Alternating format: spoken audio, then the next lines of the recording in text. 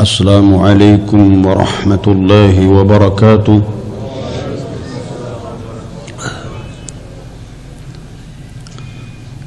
إن الحمد لله نحمده ونستعينه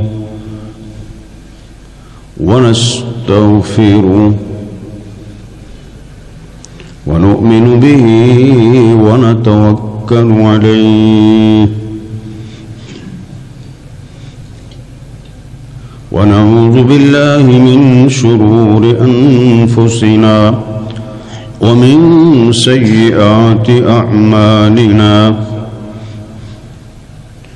من يهده الله فلا مضل له ومن يضلل فلا هادي له.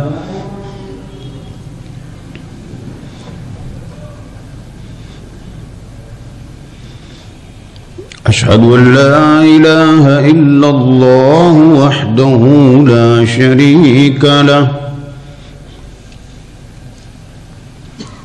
وأشهد أن محمدا عبده ورسوله صلى الله عليه وسلم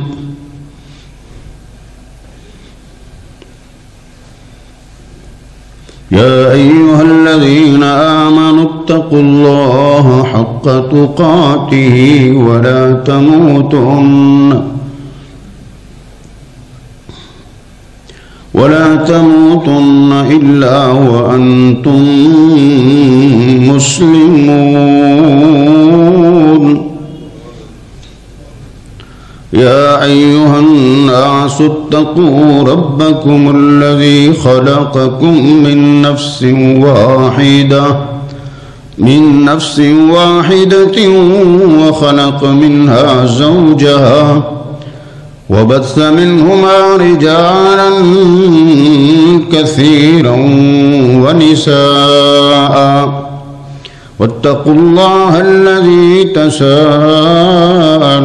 به والأرحام. إن الله كان عليكم رقيبا. يا أيها الذين آمنوا اتقوا الله وقولوا قولا سديدا. يصلح لكم أعمالكم. ويغفر لكم ذنوبكم ومن يطع الله ورسوله فقد فاز فوزا عظيما.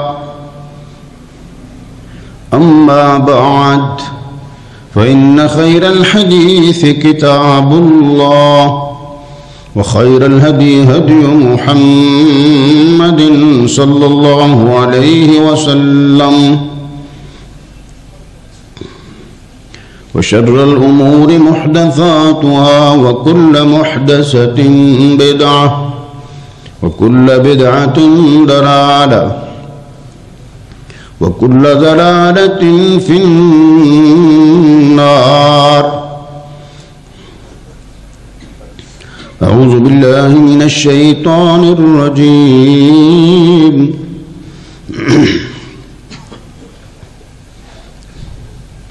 بسم الله الرحمن الرحيم.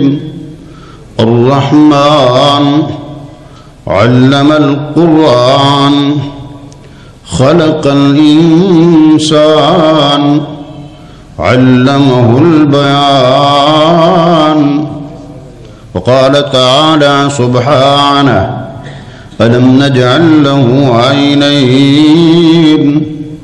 ولسانا وشفتين وهديناه النجدين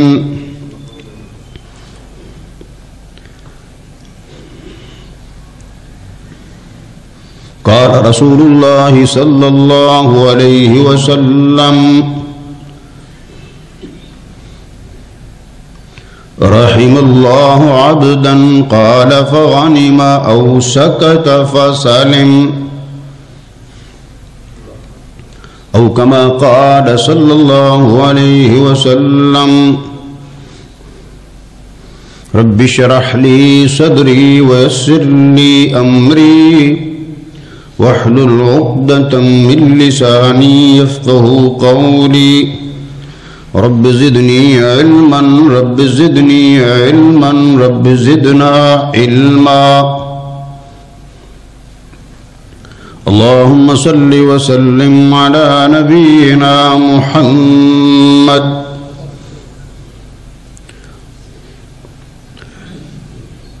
سبحانك لا علم لنا إلا ما علمتنا. إنك أنت العليم الحكيم.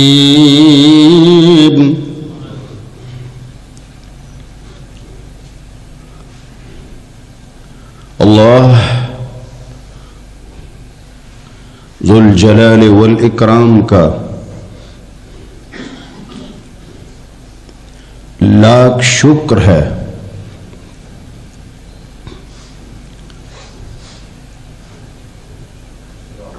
جس نے ہمیں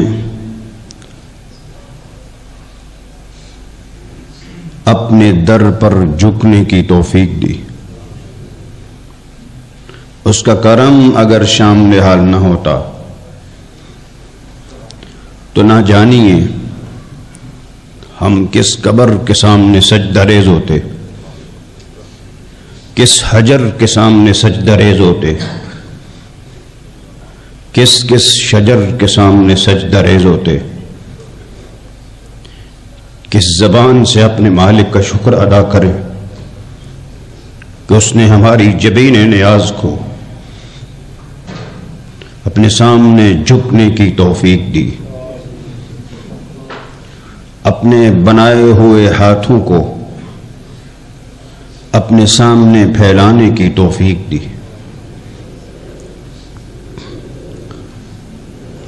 اللہ تعالیٰ کی بے حد و بے حساب رحمتیں، برکتیں، عنایتیں، کرم و فضل نازل ہوں محمد کریم صلی اللہ علیہ وسلم کے روح انور پر جسد اطہر پر۔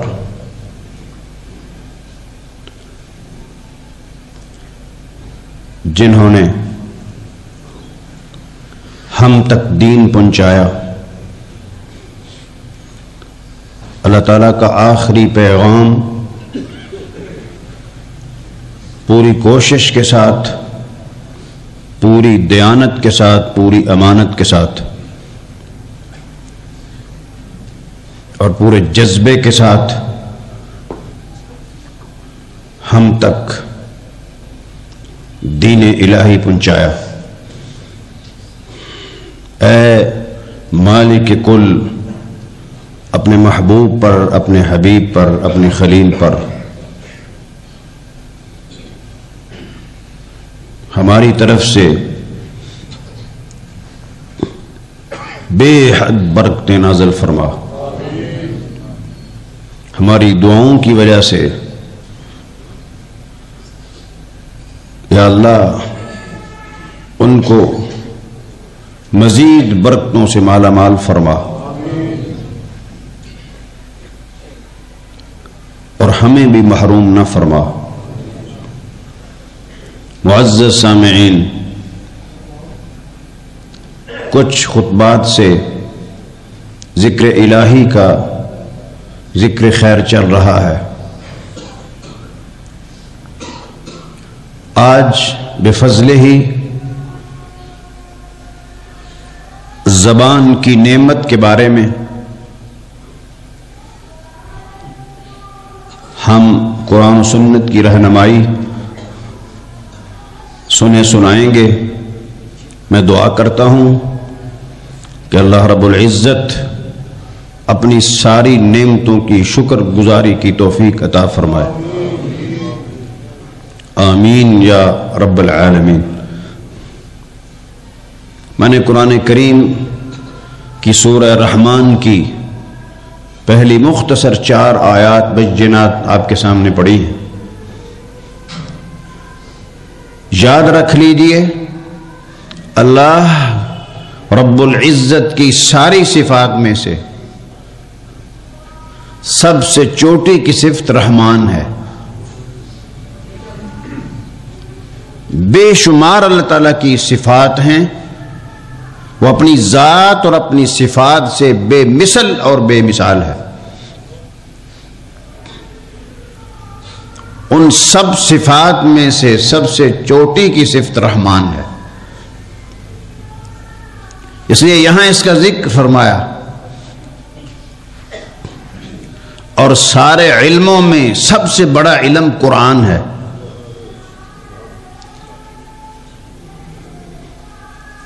اس جیسی کوئی مثال پیش نہیں کر سکا اور کر سکتا بھی نہیں۔ کجا بندوں کا کلام، کجا بندوں کے پیدا کرنے والے کا کلام۔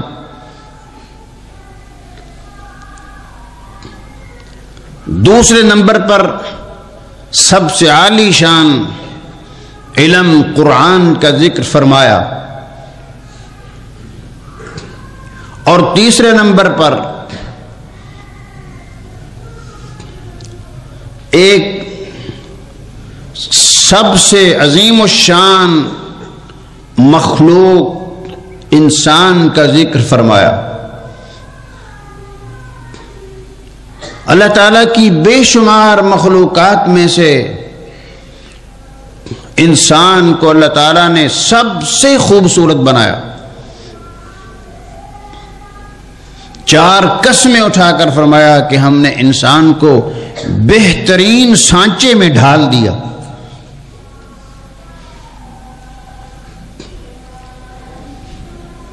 تو سب سے چوٹی کی مخلوق انسان۔ اللہ تعالیٰ کی ساری صفات میں سے سب سے عظیم الشان، عالی شان صفت رحمان، سارے علموں میں سب سے بڑا علم قرآن۔ ساری مخلوق میں سے سب سے بڑی مخلوق انسان اور چوتھے نمبر پر علامہ البیان۔ ارشاد ہوتا ہے، ہم نے انسان کو بولنا سکھایا۔ یہ بولنا انسان کی عظمت کا نشان بن گیا۔ اللہ تعالیٰ نے انسان کو یہ توفیق بخشی کہ وہ بولتا ہے اور بولنا اپنے معاف ضمیر کا اظہار کرنا جانور بچارے زبانیں بڑی بڑی ہیں لیکن الفاظ کوئی نہیں۔ اللہ تعالیٰ نے، اللہ سبحانہ ہوا تعالیٰ نے انسانوں کو یہ برتری عطا فرمائی ہے، فوقیت دی ہے کہ ان کو بولنا سکھایا ہے۔ زبان جیسی نعمت عطا فرمائی ہے۔ سورہ بلد میں ارشاد ہوتا ہے، الم نجعل له عينين ولسانا وشفتين وهديناهم النجدين اے انسان، کیا ہم نے تجھے دو آنکھیں نہیں دے دے رکھی؟ زبان کی نعمت سے سرفراز فرمایا ولیسان و شفتین اور ہم نے تجھے دو ہونٹ بھی دیے۔ وَعَدَيْنَاهُمْ نَجْدَيْن۔ ہم نے تیری خیر و شر کے معاملے میں رہنمائی فرمائی۔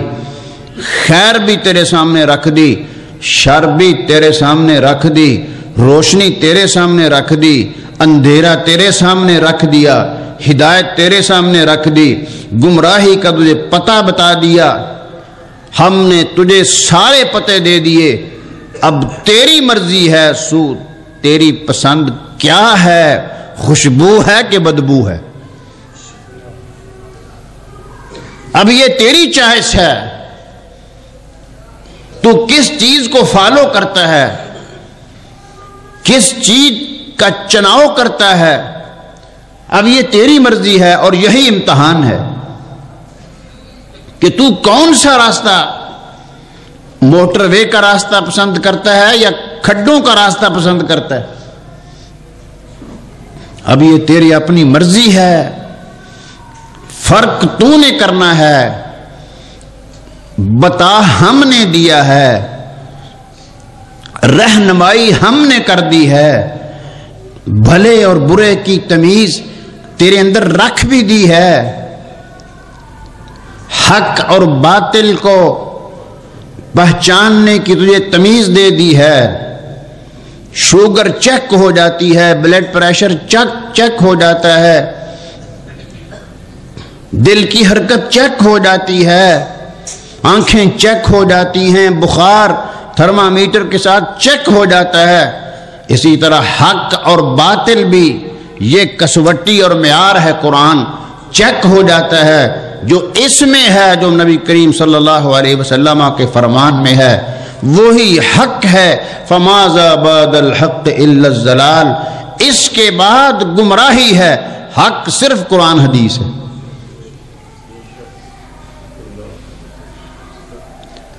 ہر خطبے میں محبوب گرامی صلی اللہ علیہ وسلم، اما بعد، اس کے بعد فن خیر الحدیث کتاب اللہ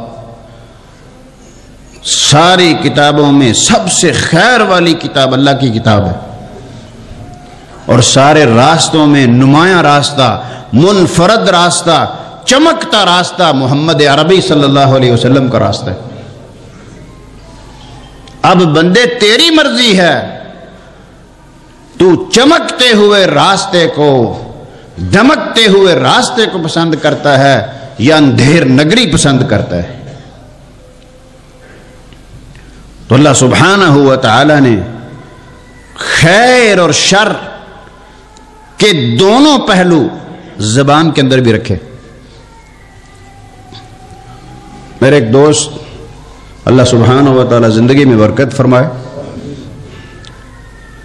یہ کبھی کبھی یہ مومن عجیب ترنگ میں آ جاتا ہے، عجیب جذبات میں آ جاتا ہے۔ اللہ کی طرف سے یہ انعام انعام خاص ہوتا ہے۔ مجھے انہوں نے میرے ساتھ یہ بات شیئر کی کہ آج میں قرآن کریم کی تلاوت کر رہا تھا۔ اچانک میرا ذہن اس طرف چلا گیا۔ میں نے اپنی آنکھوں سے مخاطب ہو کر خود اپنی آنکھوں سے مخاطب ہو کر کہا، اے میری آنکھوں، اس قرآن کی خوب زیارت کر لو۔ کل قبر میں ان میں مٹی بری ہوگی۔ پھر میں نے اپنے کانوں سے مخاطب ہو کر کہا، یہ کانوں، بہت کچھ سنتے ہو، اپنے رب کا کلام بڑی محبت سے سنا کرو۔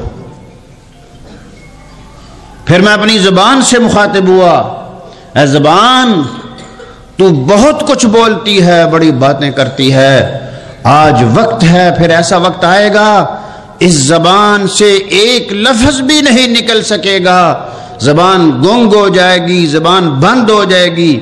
آج چل رہی ہے تو میں نے اپنی زبان سے کہا، خوب اللہ کا کلام پڑھ لے، یہ موقع پھر ہاتھ نہیں آئے گا۔ یہ موقع کبھی کبھی ملتے ہیں۔ جن کو چاہتے ہیں، اللہ ان کو دیتے ہیں۔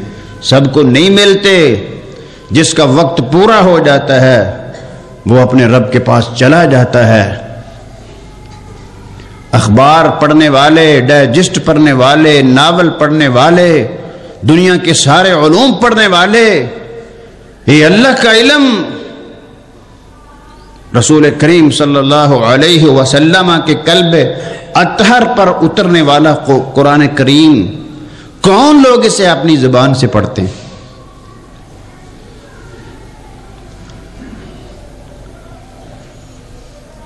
ابن مسعود رضی حضرت عبداللہ بن عباس رضی اللہ عنہما فرمایا کرتے تھے، اللہ تعالیٰ نے اس قرآن کو ہماری زبانوں پر ادا کرنا سہل کر دیا ہے، آسان کر دیا ہے، ورنہ اللہ کا اپنا ارشاد ہے، اگر ہم اس قرآن کو پہاڑوں پہ نازل کرتے تو پہاڑ بھی ہمارے خوف سے ریزہ ریزہ ہو جاتے۔ یہ ہمارا کرم خاص ہے کہ ہم نے اس قرآن کو تمہاری زبانوں پر پڑھنا سہل کر دیا۔ پڑھتے جاتے ہو۔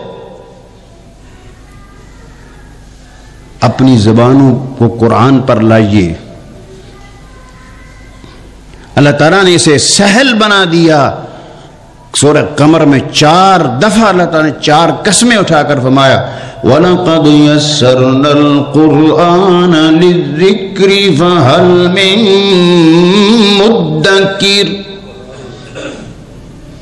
ہم نے اس قرآن کو سہل بنا دیا، اس کو ہم نے آسان کر دیا، کوئی ہے نصیحت لینے والا تو آئے۔ تذکیرہ یہ نصیحت ہے قرآن۔ کن کے لیے؟ فمن شاء اتخذ الى ربه سبیلا جو چاہتے ہیں اپنے رب کے راستے پر چلنا چاہتے ہیں، چڑھنا چاہتے ہیں، قرآن ان کی پوری رہنمائی کرتا ہے۔ یہ اپنے پڑھنے والوں کو گمراہیوں کی دلدل سے نکال کر روشنی کے قلعے عطا کرتا ہے۔ بہت بڑی نعمت ہے قرآن۔ اور زبان، امام غزالی، اللہ کا فضل ہے، ہم اس کے ولیوں کو مانتے ہیں، ان کو جانتے ہیں، ان کی عزت کرتے ہیں۔ پر ولی ہوں، بے نمازی ولی نہیں ہو سکتا۔ ننگ دڑھنگ پھرنے والا ولی نہیں ہو سکتا۔ گندی گفتگو کرنے والا ولی نہیں ہو سکتا۔ ولی پانچ وقت کے نمازی ہوتے ہیں۔ ولی اپنے رب سے ڈرنے والے ہوتے ہیں۔ ولی اپنی زبانوں کو پاک رکھنے والے ہوتے ہیں۔ امام غزالی رحمہ اللہ رحمت واسعہ کہتے ہیں، انسان پانچ چیزوں کی حفاظت تو کر لے، گناہوں سے بچ جائے گا۔ اس سبق کو اپنے دلوں پر لکھیں۔ آنکھ آنکھ جس نے اس کو اپنے رب کے حکم پر لگا لیا، اس میں حیا پیدا کر لی، اللہ کی حرام کردہ چیزوں سے آنکھیں پھیر لی۔ اپنی آنکھ کی حفاظت کی۔ اللہ تعالیٰ نے جہاں سے منع کیا تھا، وہاں سے آنکھیں بند کر لی۔ آنکھ شیطان کے تیروں میں تیر ہے۔ اس کی حفاظت نہ کرنے والے وہ متقی نہیں ہو سکتے۔ اس کی اس کو آوارہ چھوڑنے والے، اپنی نظروں کو آوارہ چھوڑنے والے اللہ کے محبوب نہیں بن سکتے۔ آنکھ اس نے دی تو اس کی نافرمانی میں آنکھ نہیں چلنی چاہیے۔ جو لوگ اس کی حفاظت کرتے ہیں انہیں جنت کی حوریں ملیں گی۔ انہیں اللہ کے انعام ملیں گے۔ اور سب سے بڑا کمال ان کو یہ ملے گا کہ جن لوگوں نے اپنی آنکھ کی حفاظت کی ہوگی، وہ اپنے رب کا دیدار کریں گے۔ اور یہ دیدار اتنی بڑی نعمت ہے کہ محبوب گرامی صلی اللہ علیہ وسلم ایک لمبی دعا میں یہ جملہ، وَأَسْأَلُكَ لَذَّةً نَظْرِ إِلَى وَجْهِكَ میرے مولا، میں تجھ سے سوال کرتا ہوں، تیرے چہرے کی لذت کا۔ کہ جب میں تیرا چہرہ دیکھوں، تو دنیا کی ساری لذتیں بھول جائیں۔ کیونکہ جو تیرے دیدار میں لذت ہے، وہ دنیا کی کسی چیز میں لذت نہیں۔ آنکھوں کی حفاظت کرنے والے، وہ کبھی آنکھوں کی حفاظت نہ کرنے والے کبھی رب کا دیدار نہیں کر سکیں گے۔ آنکھ کی حفاظت کرنا، کان کی حفاظت کرنا، کانوں کی حفاظت کرنا۔ کانوں میں گندی باتیں نہ جائیں، چغلیاں نہ جائیں۔ کسی کی عزت پامال کرنا کانوں میں نہ جائے۔ کانوں کی حفاظت کی جائے، کانوں کو گانے نہ سنائے جائیں۔ گندی چیزیں کانوں کو نہ سنائی جائیں۔ اٹھ پڑے بندہ گندی مجلس سے، دور ہو جائے، اپنے کانوں کو بند کر لے۔ ساری کائنات کے سب سے زیادہ پاک کان رکھنے والے سواری پر سوار ہیں۔ اور بنسری کی آواز کہیں دور سے سنائی دی۔ میرے محبوب نے اپنی سواری کو ایڑی لگائی اور سواری کو تیز کیا۔ حدیث کے راوی عبداللہ بن عمر رضی اللہ عنہما بیان کرتے ہیں کہ آپ نے سواری تیز کر لی اور دونوں کانوں کی، دونوں کانوں میں انگلیاں ٹھونس لی اپنی سواری کو تیز کر لیا کہ بانسری کی آواز میرے کانوں میں نہ جائے۔ دل پاک نہیں رہ سکتا اس بندے کا جو اپنے کانوں کی حفاظت نہیں کرتا۔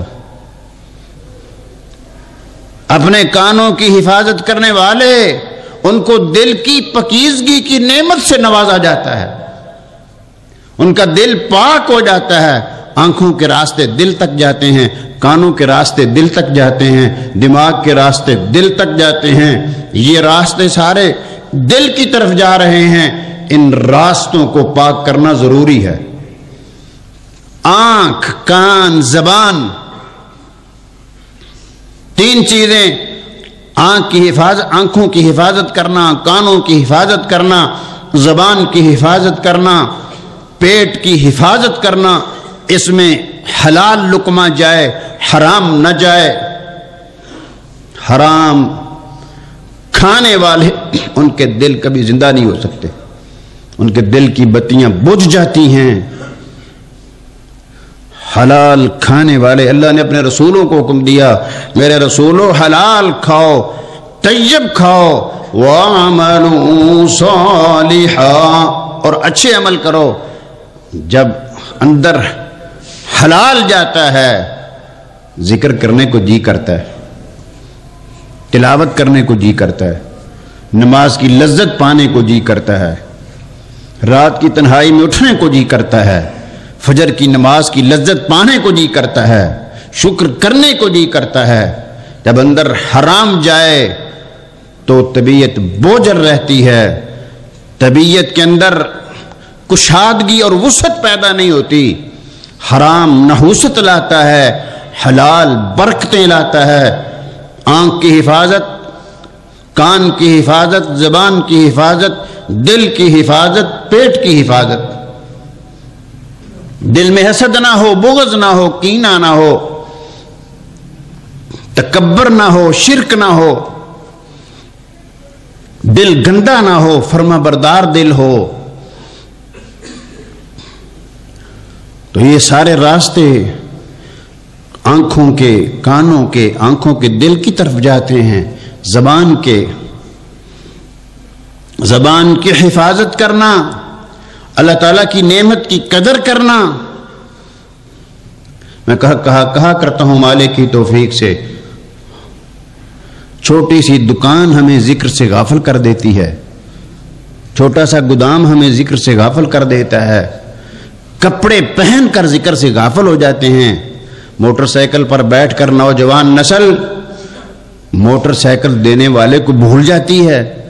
سواریوں پر بیٹھ کر سواری دینے والے کو بھول جاتے ہیں۔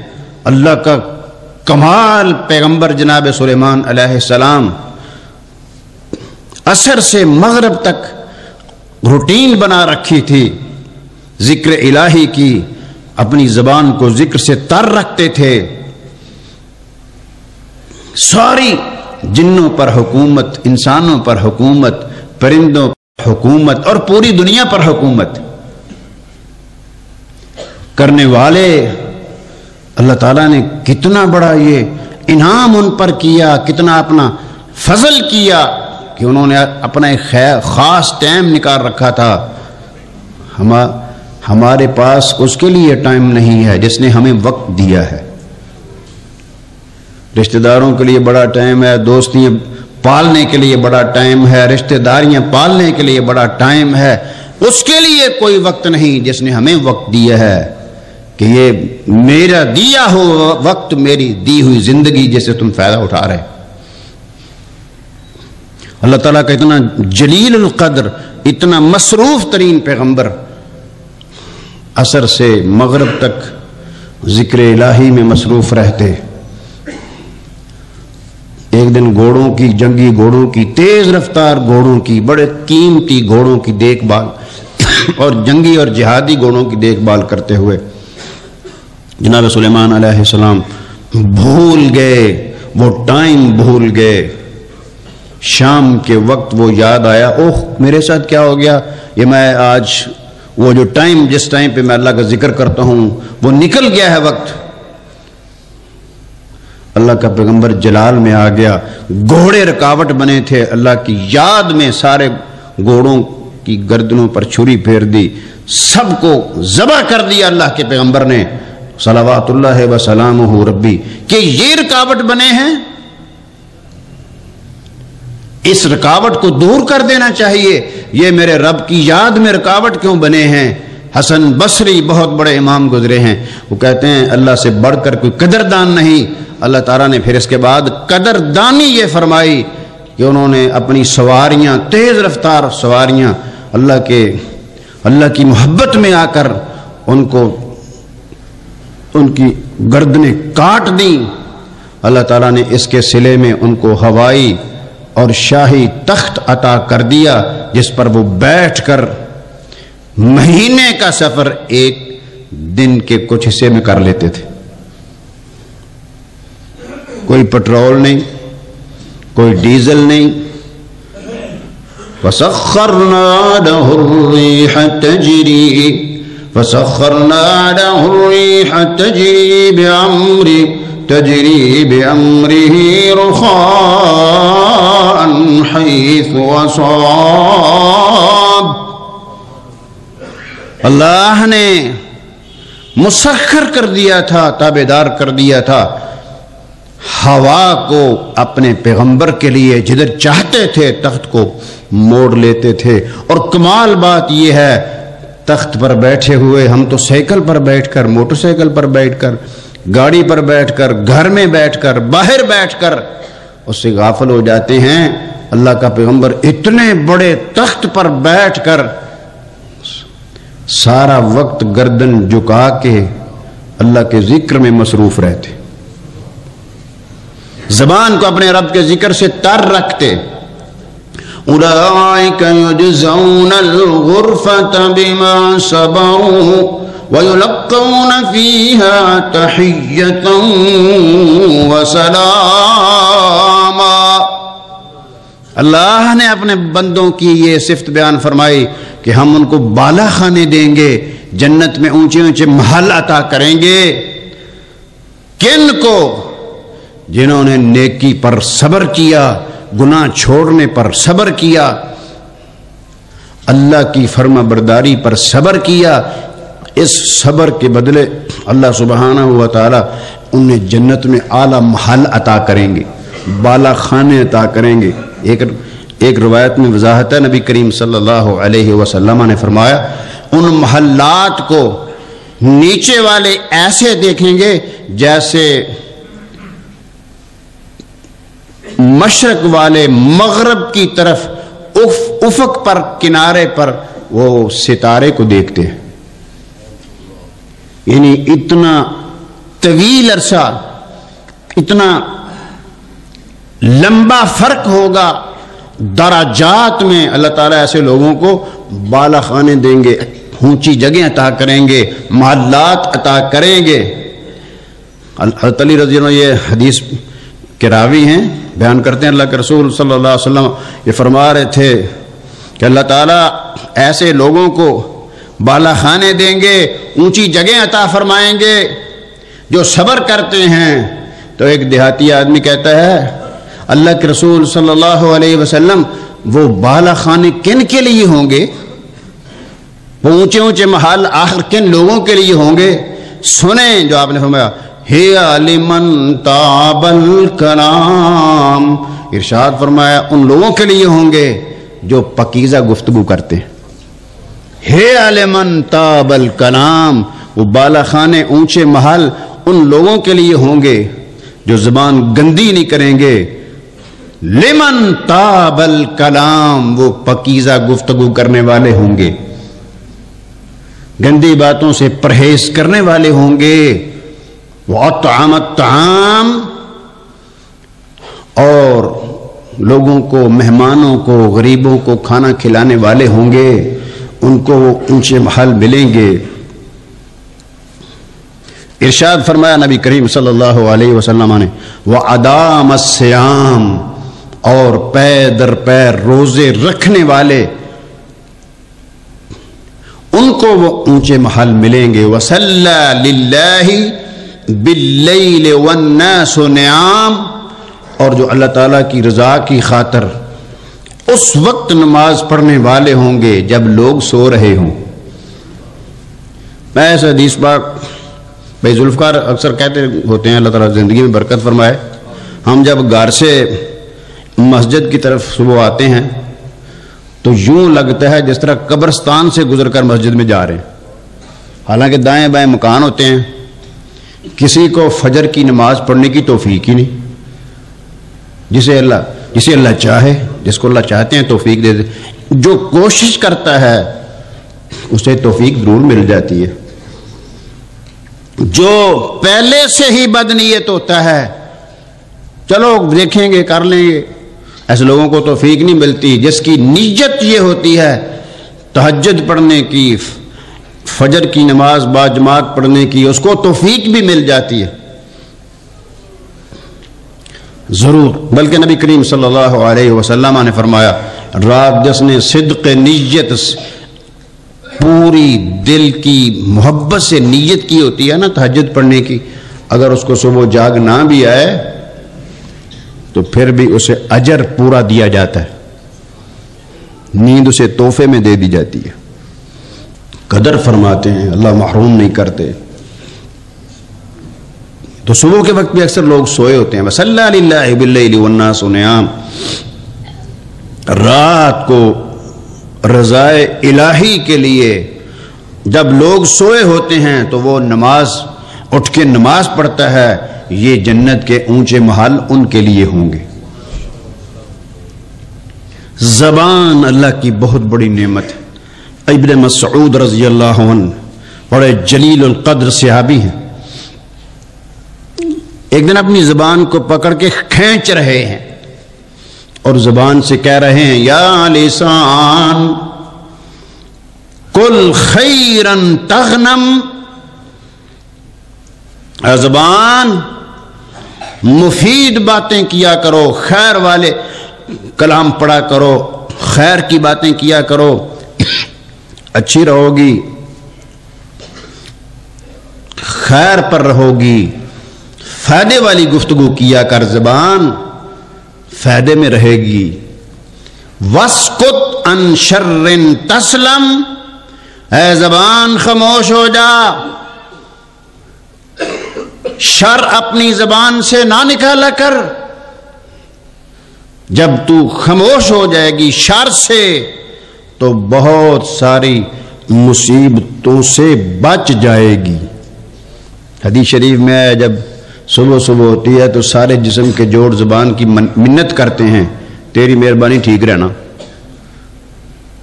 تو ٹھیک رہی تو ہم بھی ٹھیک رہیں گے۔ تو خراب ہوگی تو ہمیں بھی پٹائی ماری ہوگی۔ بات تو نے کرنی ہے، شامت ہماری آ جانی ہے۔ اس لیے زبان کی حفاظت لازم پکڑیے۔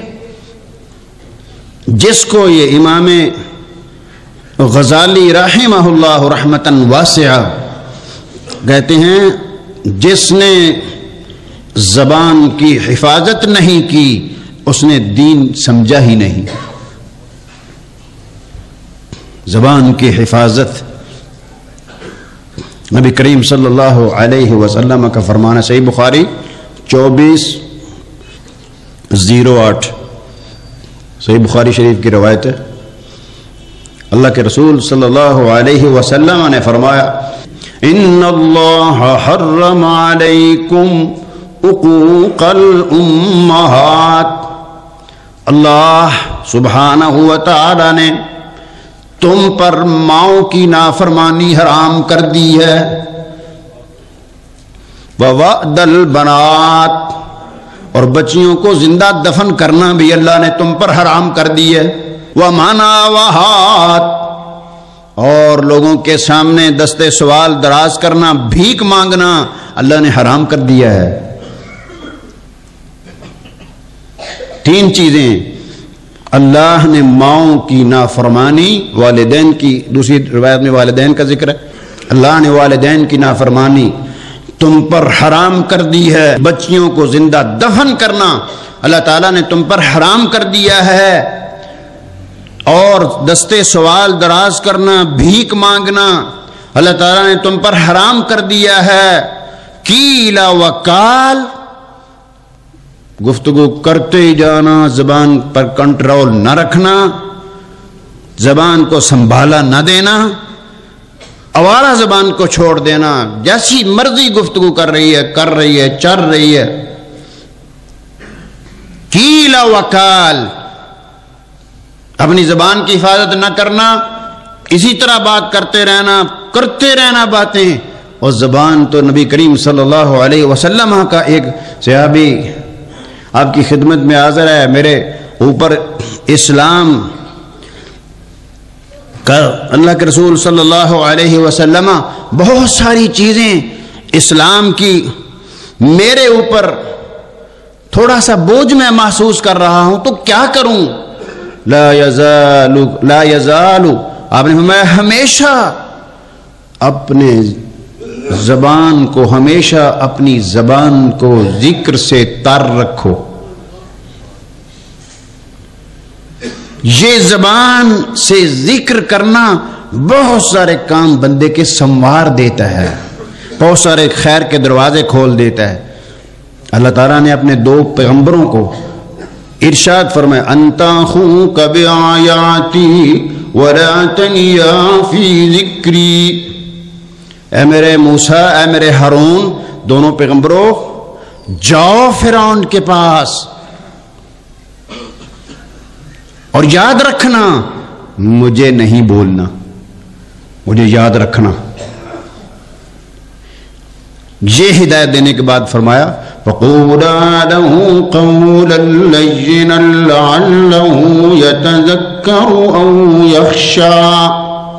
دونوں سے فرمایا یہ بھی میری بات سنو، تم نے فرعون کے ساتھ نرمی سے بات کرنی ہے، ہو سکتا ہے وہ نصیحت پکڑ لے یا ڈر جائے۔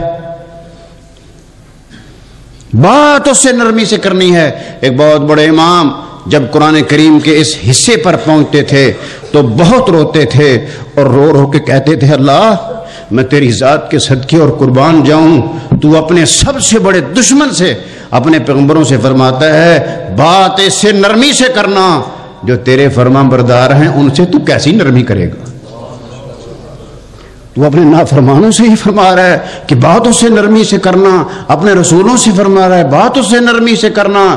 اور جو تیرے فرما بردار جو ہیں، ان سے تو کتنی نرمی کرے گا؟ اللہ بڑے کریم ہے۔ اپنے بندوں کو بہت نوازتے ہیں۔ بات جب فرعون کے بارے میں پیغمبروں کو حکم دیا، بات نرمی سے کرنا تو رشتہ داروں سے نرمی کیوں نہیں کرنی چاہیے؟ بیوی سے نرمی کیوں نہیں کرنی چاہیے؟ ماں سے نرمی کیوں نہیں کرنی چاہیے؟ بہن سے نرمی کیوں نہیں کرنی چاہیے؟ بھائی سے نرمی کیوں نہیں کرنی چاہیے؟ اسلام جانوروں کے ساتھ نرمی کا حکم دیتا ہے۔ اللہ اکبر، ایک امام جا رہے تھے، رحمہ اللہ رحمت واسعہ، سائے میں ایک پرندہ نیچے بیٹھا ہوا تھا۔ وہ سیدھا جانے کی بجائے اس طرح سائڈ پہ چلے گئے اور سائڈ سے جا رہے تھے تو ساتھی نے پوچھا کہ آپ سیدھے راستے پہ کیوں نہیں گئے؟ کہتے ہیں وہ پرندہ سائے میں بیٹھا تھا۔ میں نے پسند نہیں کیا کہ ہماری وجہ سے ایک پرندے کو تکلیف پتہ نہیں کہاں سے مسئلے نکال لیتے ہیں۔ فلاں جگہ سے وہ پیر صاحب کا درخت وہاں لگا ہوا تھا۔ وہ کسی نے مسواک اتار لی تو پیر صاحب نے اس کی ٹانگیں توڑ دی ہمارے مسئلے کیسے کیسے؟ یا بندہ قرآن سنت سے ہٹ جاتا ہے، پھر اس کے مسئلے اسی طرح ہی ہوتے ہیں۔ جب قرآن و سنت پہ آتا ہے، تو اللہ تعالیٰ اسے بصیرت دیتے ہیں۔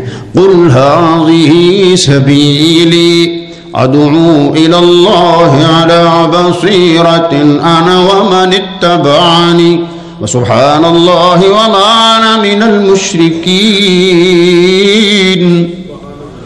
محبوبم فرما دیجیے، یہ میرا راستہ ہے۔ اللہ کی طرف بلانا یہ میرا راستہ ہے اور ہے بھی بصیرت پر۔ اٹکل پچو پر نہیں کسی کہانیوں پر نہیں، میرا راستہ بصیرت پر ہے۔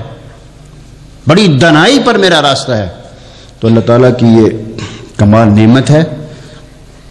رحم اللہ عبدن، اللہ کے رسول سم دعا فرمائی۔ ولیوں سے دعا کراتے ہیں۔ اور کائنات کا سب سے بڑا ولی میں کہا کرتا ہوں مالک کی توفیق سے۔ لوگ کہتے ہیں ہمارے ہمارے بزرگوں نے یوں کہا، ہمارے بزرگوں نے یوں کہا۔ واللہ، محمد رسول اللہ سے بڑھ کر کوئی بزرگ نہیں۔ کائنات کا سب سے بڑا بزرگ محمد کریم صلی اللہ علیہ وسلم۔ دعا فرما رہے ہیں رحم اللہ عبدن اللہ اس بندے پر رحمت نازل فرمائے۔ قال فغانم جو مفید بات کرے فائدہ مند بات کرے، او سکت فسالم یا چپ رہے، خاموش رہے، اور سلامتی پا جائے، خیر پا جائے، شر سے بچ جائے، بہت بڑی مصیبتوں سے چپ رہ کر بچ جائے۔ اور یہ حقیقت ہے، جس بندے کو یہ تجربہ نہیں ہے، وہ کر کے دیکھ لے۔ شر کے مقابلے میں چپ ہو جائے۔ بیوی جذباتی ہو گئی، چپ ہو جائے۔ تاجر کوئی جذباتی ہو گیا، چپ ہو جائے۔ خامد بیوی سے جذباتی ہو گیا تو بیوی چپ کر جائے۔ خاموش ہو جائے۔ بھائی بھائی سے جذباتی ہو گیا تو بھائی چپ ہو جائے رشتہ دار رشتہ دار سے جذباتی ہو گیا تو چپ ہو جائے۔ اس کا سمر، اس کا پھل پھر میں نہیں بتاتا، خود ہی دیکھ لینا۔ یہ نہیں ہو سکتا۔ والم ان النصر مع الصبر۔ محبوب نے فرمایا بوئس تو بے جوام آپ نے ارشاد فرمایا، اللہ نے مجھے جامع کلمات دے کر بھیجا ہے۔ جان لو میرے امتیو، اللہ کی مدد برداشت میں ہے۔ اللہ تعالیٰ کی مدد صبر میں ہے۔ طلبا برداشت کریں، استاد ناراض ہو گئے، ان کے فائدے کے لیے برداشت کریں۔ بعض کا اجاڈ اور جاہل قسم کے طلبا وہ استادوں کی توہین کرتے ہیں، برداشت کریں۔ اللہ کے لیے برداشت کریں۔ برداشت کرنے والے بن جائیں، دیکھیں تمہاری زندگی میں بہار کیسے آئے گی۔ میرے دوست مولانا عبد الجبار صاحب، کہتے میں جب پڑھنے گیا نا، تو میں سگریٹ پیتا تھا۔ تو شیخ مولانا سلطان محمود صاحب، شیخ الحدیث، بڑے لوگوں کی بڑی باتیں۔ انہوں نے سمجھ لیا کہ یہ طالب علم بڑی صلاحیت رکھتا ہے۔ اللہ نے اس میں بڑی خیر رکھی ہے۔ وہ کہنے لگے، طالب علم، ادھر آؤ۔ طالب علم آ گئے سارے، مدرسے کے جمع ہو گئے۔ انہوں نے کہا، یہ بچہ جو ہے نا، یہ مسجد کے اندر سگریٹیں پیے، مسجد کے باہر سگریٹ سگریٹ پیے۔ کہتے ہیں، مجھے بڑی آتی سگریٹ پینے کی۔ او مسجد کے گیٹ پر پیے، اندر پیے، باہر پیے۔ تم میں سے کسی نے اس کو کچھ بھی نہیں کہنا۔ پینے دو اس کو۔ کہتے جب انہوں نے یہ اعلان کر دیا نا سارے طلبا کے سامنے، تو میں نے سوچا کہ اب مجھے سگریٹ چھوڑنی پڑنی ہے۔ کچھ سارے کام ڈانٹ سے نہیں ہوتے۔ کچھ اس طرح اس طرح کی حکمت سے بھی ہو جاتے۔ ہیں اللہ نے جس بندے میں خیر رکھی ہوتی ہے، وہ خیر نمودار ہو جاتی ہے۔